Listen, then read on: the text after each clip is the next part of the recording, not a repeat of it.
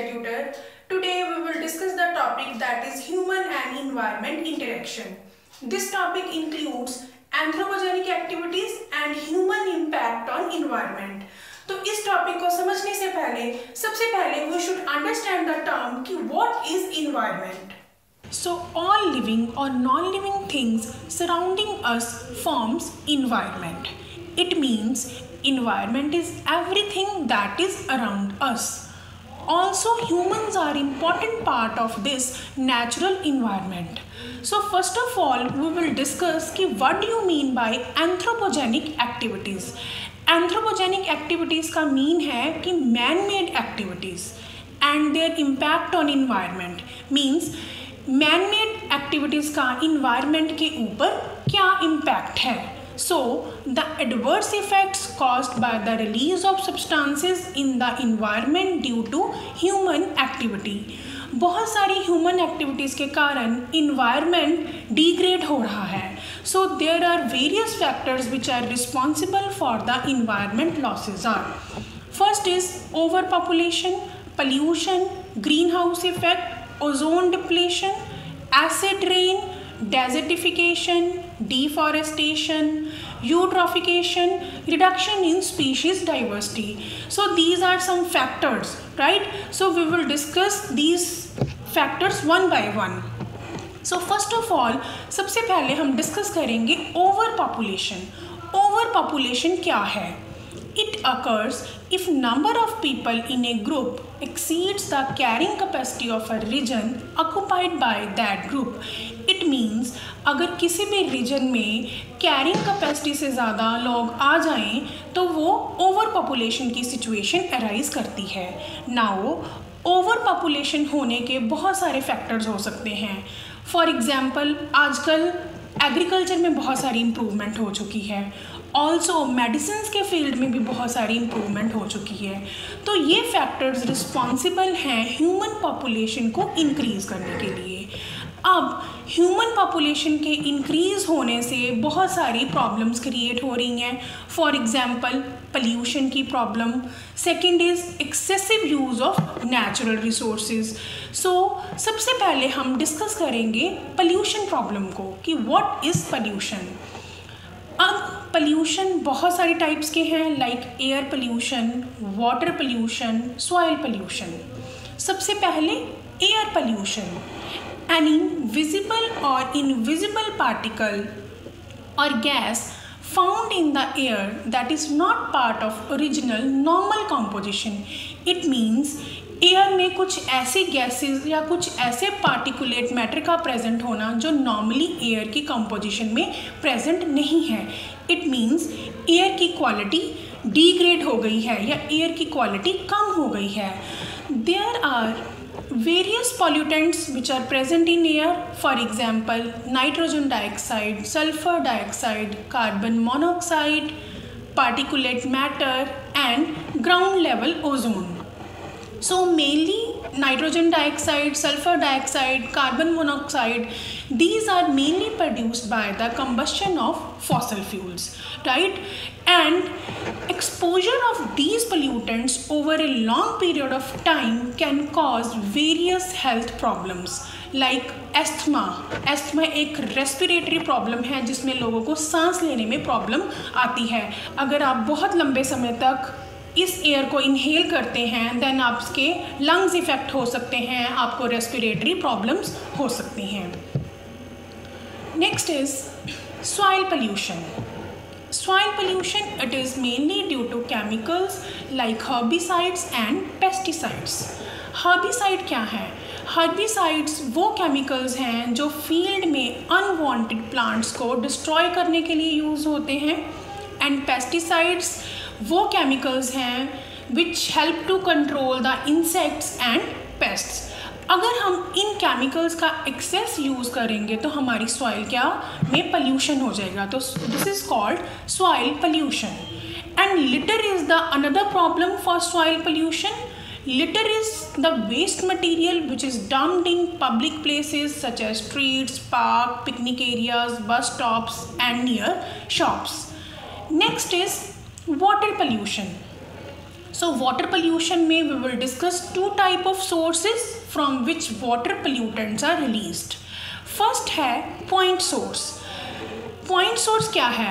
Which emit harmful substances directly into the body of water. For example, oil spill. जैसे आप लोगों को पता है कि बहुत सारी इंडस्ट्रीज़ में जो ऑयल है वो वेस्ट की फॉर्म में निकलता है। और उस ऑयल को डायरेक्टली हम किसी वाटर बॉडी रिवर पॉन्ड में डंप कर देते हैं।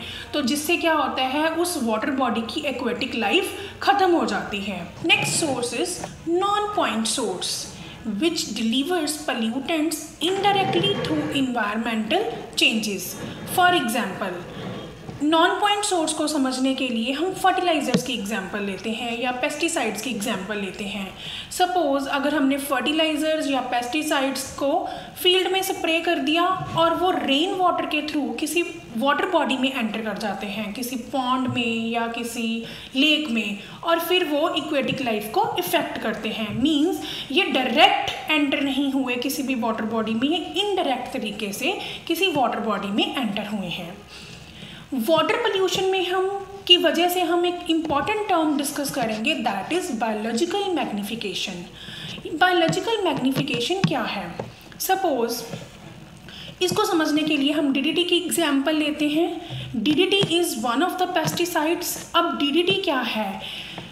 डीडीटी रेन वाटर के थ्रू किसी वाटर बॉडी में एंटर कर गया means now DDT is present in water अब इस वाटर के ऊपर स्मॉल माइक्रोब्स फ़ीड करते हैं, जिनको हम बोलते हैं जू प्लैंक्टन्स अब इन जू प्लैंक्टन्स के ऊपर स्मॉल फ़िश डिपेंडेंट है। स्मॉल फ़िश के ऊपर लार्ज फ़िश डिपेंडेंट है एंड लार्ज फ़िश के ऊपर फ़िश ईटिंग बर्ड्स डिपेंडेंट है।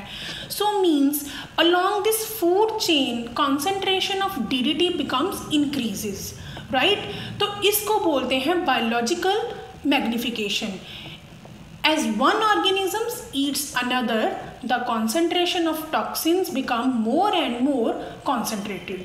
तो इस biological magnification की वजह से जो कुछ जो birds हैं वो extinct हो चुके हैं So this is the major problem of water pollution.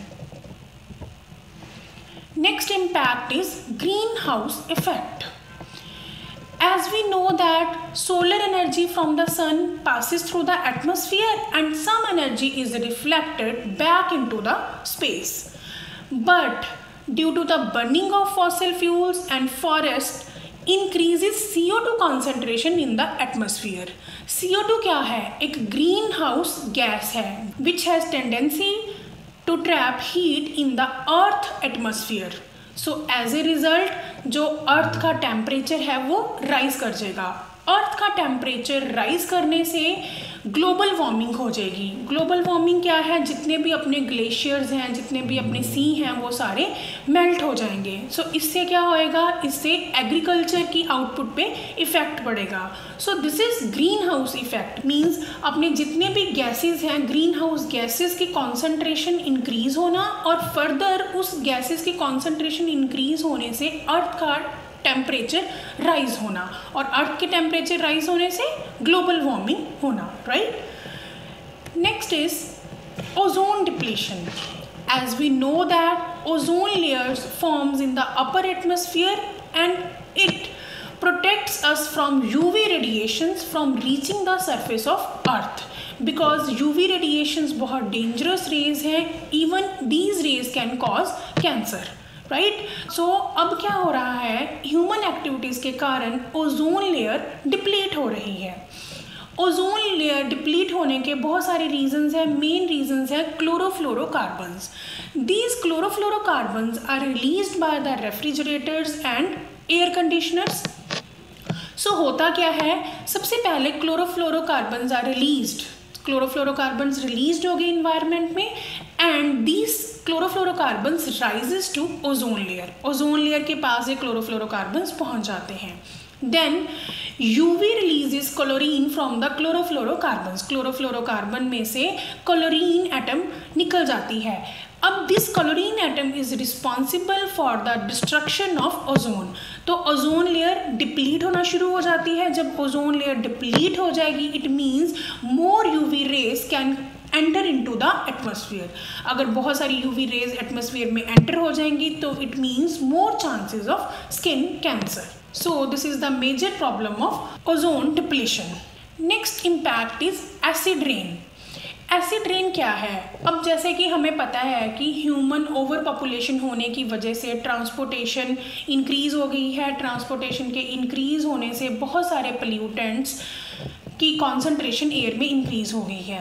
Suppose अगर मैं बात करूँ नाइट्रोजन डाइऑक्साइड की एंड सल्फ़र डाइऑक्साइड की तो ये गैसेस जो हैं, इनका लेवल एयर में बहुत इंक्रीज़ हो गया है। अब ये गैसेस वाटर वेपर के साथ मिक्स होके एसिड्स फॉर्म करते हैं। Nitrogen dioxide combine with the water forms nitric acid and sulfur dioxide combines with water forms sulfuric acid right? So, when these acids come along with the rain, then इससे क्या होता है? Aquatic life ख़त्म हो जाती है। Aquatic life के साथ साथ बहुत सारे लिविंग ऑर्गेनिजम्स अर्थ के ऊपर अफेक्ट होते हैं। So this is the major problem of acid rain acid rain को समझने के लिए हम सबसे अच्छी एग्ज़ाम्पल ले सकते हैं आगरा की अब आगरा में जो ताजमहल है, उसका जो वाइट मार्बल है, वो आजकल येलो होना शुरू हो गया है। वो किस वजह से? बिकॉज़ ऑफ़ एसिड रेन क्योंकि वहाँ पे रिफाइनरीज प्रेजेंट है और रिफाइनरीज में से मेनली सल्फ़र डाइऑक्साइड गैस निकलती है और सल्फ़र डाइऑक्साइड गैस वाटर के साथ कंबाइन करके सल्फ्यूरिक एसिड फॉर्म करती है और रेन के साथ मिक्स होके जब ये वाइट मार्बल पे पड़ती है then it corrodes white marble ठीक है? इसलिए जो वाइट कलर का मार्बल है, अब वाइट नहीं रहा, वो येलो कलर का हो गया है। नेक्स्ट इज़ डेजर्टिफिकेशन नेम से ही इंडिकेट हो रहा है कि डेजर्ट्स का बनना। Mainly over grazing transforms the grassland into deserts as a result agriculture output decreases और habitats available to native species are lost deserts बनने से एग्रीकल्चर भी कम हो गई है और जितने भी हैबिटेट हैं नेटिव स्पीशीज़ के वो भी लॉस्ट हो गए हैं। नेक्स्ट इज़ डिफॉरेस्टेशन डिफॉरेस्टेशन के मेनली तीन रीजंस हैं. Increasing population industrialisation and need of land for development of expanding cities तो इन रीजंस की वजह से पूरे के पूरे फॉरेस्ट खत्म हो रहे हैं. And it has been noted that during the period between 1990 and 2000 the yearly loss of natural forest was 16 million hectares so this is the major problem right next is eutrophication अब eutrophication क्या है? Eutrophication में mainly water body जो है convert हो जाती है land में और यहाँ पे प्लांट्स और माइक्रोब्स ग्रो कर जाते हैं. So eutrophication is when a body of water becomes overly enriched with minerals and nutrients which induce excessive growth of plants and algae this process में result in oxygen depletion of the water body किसी भी water body में जब plants और microbes algae की growth होना start हो जाती है तो वहाँ पे जो डिज़ोल्व ऑक्सीजन है कंटेंट वो डिज़ोल्व ऑक्सीजन ख़त्म होनी शुरू हो जाती है। तो वाटर बॉडी जो है, वो लैंड में कन्वर्ट हो जाती है, इसको हम बोलते हैं eutrophication next factor is reduction in species diversity अब ह्यूमन एक्टिविटीज़ के कारण बिकॉज़ ओवर पॉपुलेशन हो गई है ओवर पॉपुलेशन के कारण जैसे हमने बात की डिफॉरेस्टेशन हो रही है डेजर्ट्स कन्वर्ट हो रहे हैं ग्रीन हाउस इफ़ेक्ट हो रहा है ग्लोबल वार्मिंग हो रही है तो इन सब रीजंस की वजह से बहुत सारे प्लांट्स एंड एनिमल्स बहुत फास्ट रेट पे एक्सटिंक्ट हो गए हैं right so this is the so this is the again very dangerous problem. But scientist believe that कि many of the disappearing plants could become useful to human as medicine foods and industrial products so these are all the factors which are responsible for the environment loss अब question है कि हमें environment को कैसे बचाना है? मतलब what should we do for our environment हमें अपने इन्वायरमेंट में एक बैलेंस मेंटेन करके रखना है। हमें अपने इन्वायरमेंट को डिग्रेड नहीं होने देना। सो so, हम कुछ ऑल्टरनेटिव मेथड्स हैं जिसकी वजह से हम अपने इन्वायरमेंट को सेव कर सकते हैं। लाइक ऑर्गेनिक फ़ार्मिंग हम ऑर्गेनिक फ़ार्मिंग कर सकते हैं। ऑर्गेनिक फ़ार्मिंग में क्या है? ये मेथड बहुत कॉस्टली है बट इसमें पल्यूशन की प्रॉब्लम नहीं आती। लाइक like, नहीं तो हम एक्सेसिव फर्टिलाइज़र यूज़ करते हैं। एक्सेसिव फर्टिलाइज़र यूज़ करने से हमारी सॉइल पल्यूटेड हो जाती है। बट ऑर्गेनिक फ़ार्मिंग से हम जिसमें मेन्योर यूज़ करते हैं उसमें पल्यूशन की प्रॉब्लम को रोका जा सकता है। Next is biological control of pest it means by using natural predators to eat pest instead of pesticides अब हमने जैसे पीछे पढ़ा कि एक्सेसिव पेस्टिसाइड यूज़ होने से बहुत सारी प्रॉब्लम्स क्रिएट होती हैं। तो उन पेस्टिसाइड्स को का यूज़ कम करके, हम नेचुरल प्रोडेटर्स को यूज़ करके हम पोल्यूशन प्रॉब्लम्स को रोक सकते हैं।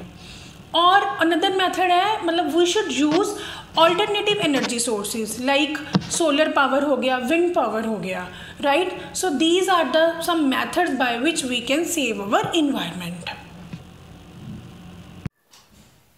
So that's all about today's lecture. This is very easy topic. If you will find any difficulty then please write it in comment box. Thanks.